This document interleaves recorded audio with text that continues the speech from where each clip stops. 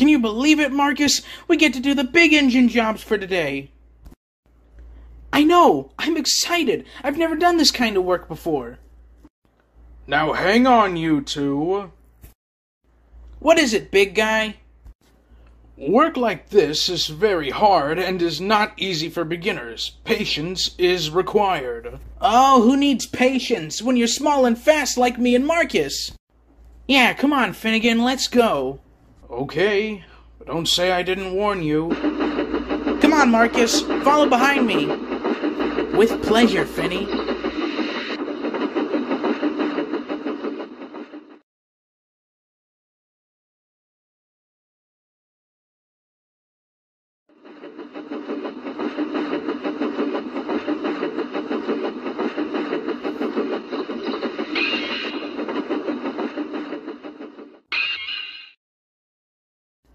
So, how was it?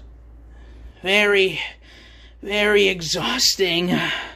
I told you so, but you wouldn't listen. We're sorry for doubting your word, Charles. That's quite all right. Anyways, let's get to sleep. Good night. Good night. Good night.